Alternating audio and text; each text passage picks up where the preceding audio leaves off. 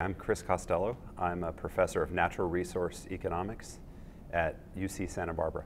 So I, th I think IFIN is, I'm super excited about the idea that we're bringing together experts from every corner of the earth to try to understand fish stocks, understand what drives them, what management interventions work, and under what conditions they can work.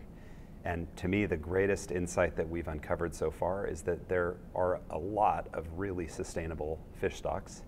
Um, and that message has changed over the last 10 years. I think, you know, many people don't realize that in the US, most of our fish are some of the most sustainable on the planet. And there are other places where that, you know, you, you find a similar story. But at the same time, we find places in the world where they're heading in the wrong direction. And so what we're trying to do is embrace that heterogeneity and really understand what's driving the success stories, but also what's driving the failures and how we can turn them around. You know, I think to me, when I read the media and when I've engaged with the media, I think there's a comfortable narrative that all fisheries are collapsing. Okay, that's, that's the story that grabs people's attention and it kind of accords with what they keep hearing and what they think is happening out there in the world. And it's true, there are, there are many, many fisheries in the world that are collapsing. But it's also true that, it, eh, by our calculations, roughly half of the fisheries have turned the corner and are actually on the road to much more, a much more prosperous future than we've even seen over the last 10 or 20 years. So it's not just that they're not collapsing, they've actually they're more prosperous now than they, than they were in the past.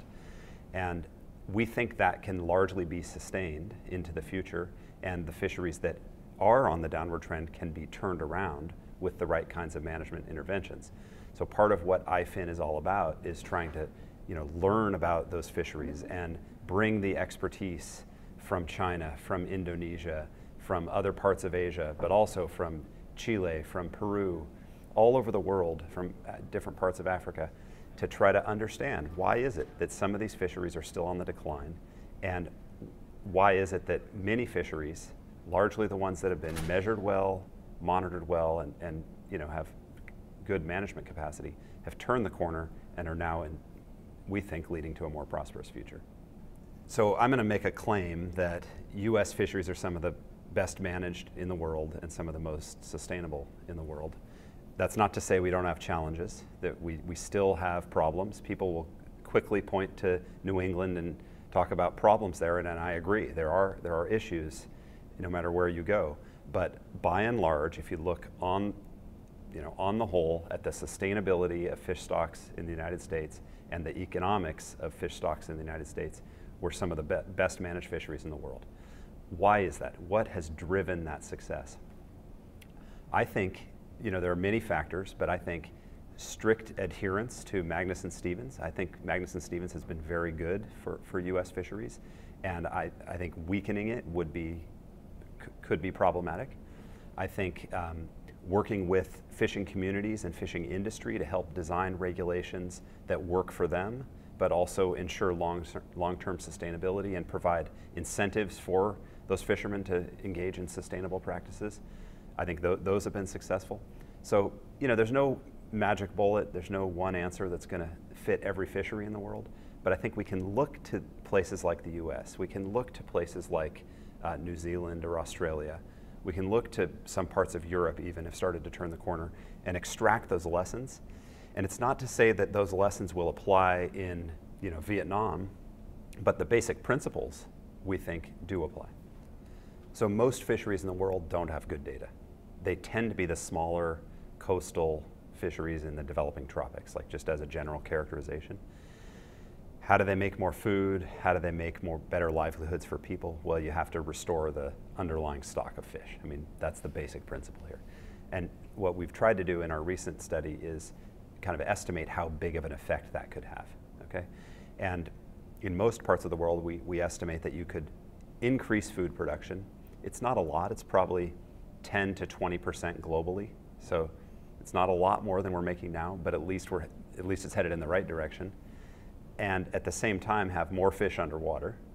That's a little bit counterintuitive to people, but the idea is if you have a big stock of fish underwater, they're spinning off more babies that you can then catch, okay?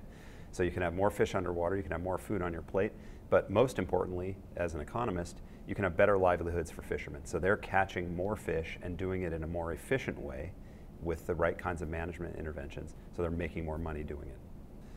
I mean, there's so many dimensions to fisheries management and the analysis that IFIN is trying to do. Two of them that I'm very interested in are the interactions between wild fisheries and climate change and wild fisheries and aquaculture. The first of those really could have wide ranging effects, ocean acidification and other issues surrounding climate change um, are already interacting with, with fish stocks. Fish stocks are moving, uh, you know, moving north or moving poleward. That's becoming an issue.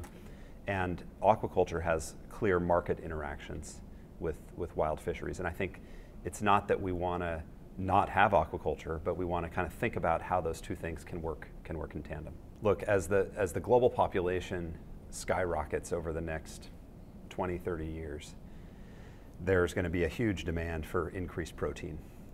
We know we can't get it on land in any kind of sustainable way. We can get a little bit more from wild fisheries if we manage them well, maybe 15, 20% more. And, but I think aquaculture will contribute to a, a large extent to that increased demand.